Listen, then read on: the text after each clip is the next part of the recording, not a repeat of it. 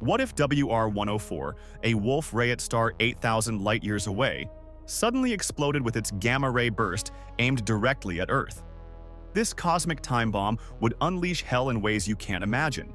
The initial gamma-ray blast would strip away our ozone layer in seconds, flooding the planet with deadly UV radiation.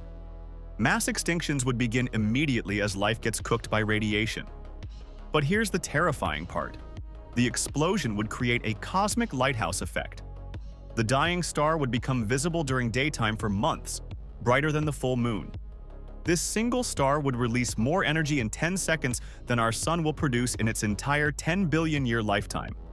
Every satellite would fry instantly, plunging humanity into a technological dark age. Cosmic rays would bombard Earth's surface for thousands of years. The most chilling reality? Wolf-Rayet stars are scattered throughout our galaxy like cosmic grenades. Several are already in their final death stages, and we have no way to predict when they'll detonate. We're sitting ducks in a cosmic shooting gallery,